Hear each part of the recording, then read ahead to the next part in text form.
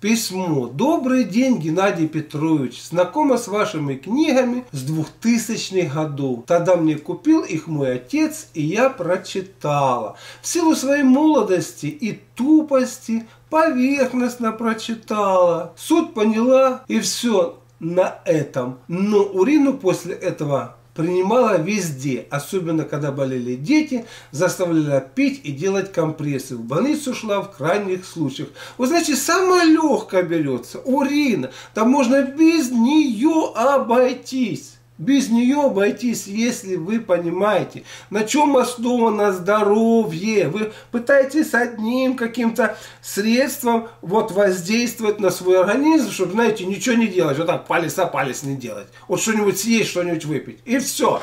Почистила печень, поголодала в 2008-2010 году. И все. Про себя забыла. Детей то в школу, то в вуз. Лет 5-6 назад у одной из моих дочерей начались непонятные обмороки. Хотя девочка была очень активна, бодрая, не отставала ни в чем. Ей на тот момент было 14 лет. Я каждый раз бежала с ней, обследовалась, ничего не находили. И вот уже через 2-3 года начались эпилептические приступы с закрытием скатыванием языка. Дома в первый раз произошел приступ три года спустя в основном в школе. Но я усердно избегала врачей. Уже на третьем курсе в колледже в последнее время начала бояться, что произойдет приступ, и мы решили, все, все пьют, и мы начнем. Полетели в Питер. Там эпилептолог назначил препараты. И с декабря 20 пьем. Заключение. Эпилепсия неясной этиологии. Приступов не было в этом плане. Я тоже чуть отдохнула. Но на третий месяц как пошла сыпь, а потом отек квинки, я в панике. Препарат меняем, отек еле сняли преднизолоном на четвертый-пятый день. И вот новое, аллергический дерматит. В детстве она переболела ветрянкой, корью, свинка, все, что было в детском саду. Какой-то зеленый цвет лица меня удручал всегда. Давала Вермакс, другие противопаразитарные препараты, но знала, что все слабо. Так, вот смотрите. Причина.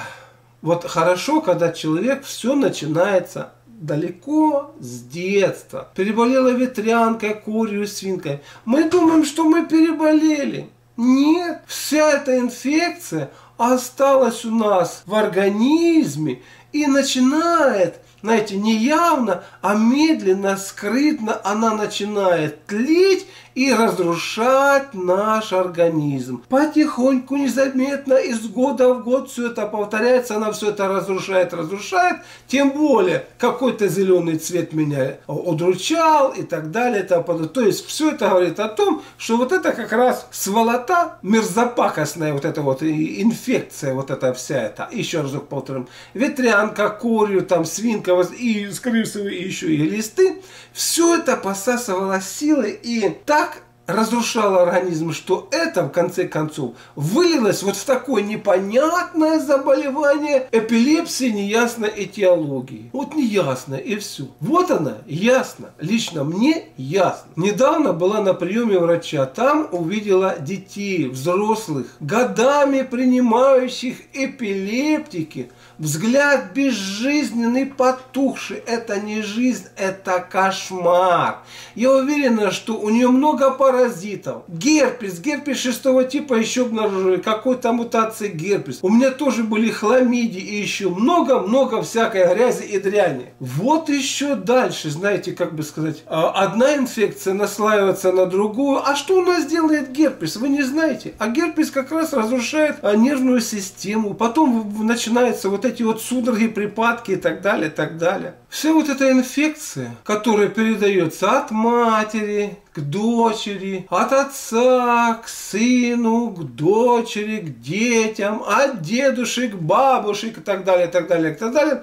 То есть там целое содружество разного рода микроорганизмов, паразитов, вирусов и так далее, которые усиленно... Вот человек вроде бы себя он чувствует, ну, более так, менее так нормально, если я там чувствую, что там уж, ну, что там уж. Вот, как, знаете, как бы сказать, ну, жить можно, вот хотя бы, знаете, вот можно жить на 100%, а можно жить на 30%, на 40%. Ну, тяжело, да, но можно жить. А где мои 60 70% здоровья. Вот она, герпес шестого типа и так далее, курс свинка, ветрянка, там, паразиты, мутации, хламидии и так далее. Вот это все отнимает вашу жизненную силу. Организм пытается со всем этим справиться, он пытается, пытается, но, знаете, как бы сказать, это война на истощение. Вы ничего не делаете против этого, они у вас годами живут и потом только хопачки. И люди, которые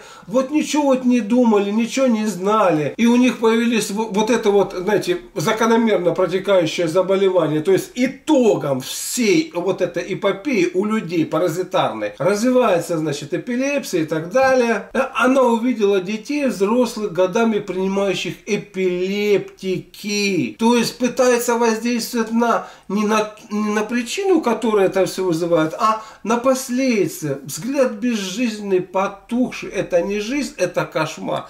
Хотите свою жизнь превратить в кошмар? Пожалуйста, действуйте. Вот таким вот образом. Бездумно, без... Э, ну, меня слов таких нету. Вот, вот на свою жизнь наплюйте, вот, вот так вот, лечитесь от эпилепсии, не понимая, что на все есть свои причины. Чем вы болели в детстве? Пожалуйста. Что у вас есть? Пожалуйста. И как следствие уже эпилепсия. Ага. Значит, у меня тоже были хлопедища. Много, много всякой грязи и гадость. Очень хочу почиститься сама и ее от всей грязи. Не знаю, с чего начать. Да начните с тройчатки хотя бы, самого легкого, с тройчатки. Далее у нас идет голодание, более мощно меняющее все это. С чего начать? У нас есть стадикам, в конце концов. У нас есть АСД-2, в конце концов. Да у нас есть много чего, что может вот эту вот дурацкую инфекцию взять. Пока только 4 месяца место принимаем, не хочу такой жизни, для нее пока не поздно. Вот это хорошо, что хоть в конце концов, когда человек вот как-то задумается о своей жизни,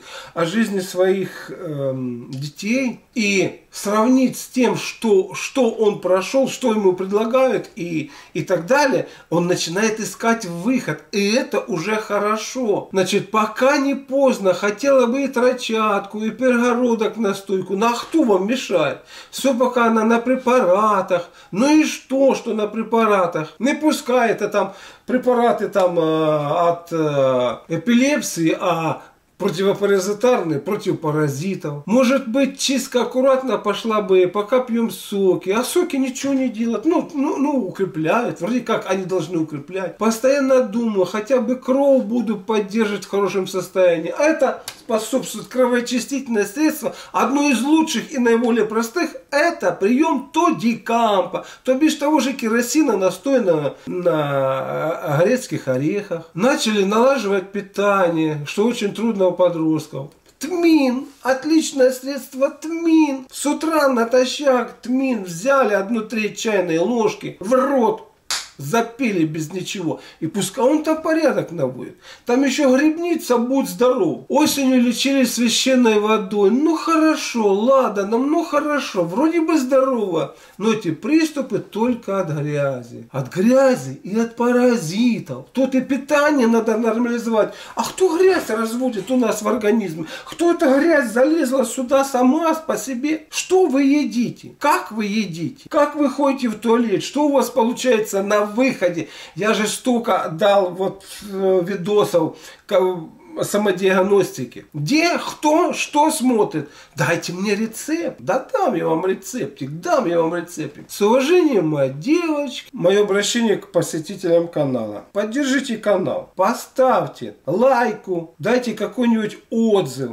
Это простые вещи. Я не прошу вас денег. Поддержите меня вот таким вот образом. Это канал не для того, чтобы вас развлекать, а для того, чтобы вам помогать.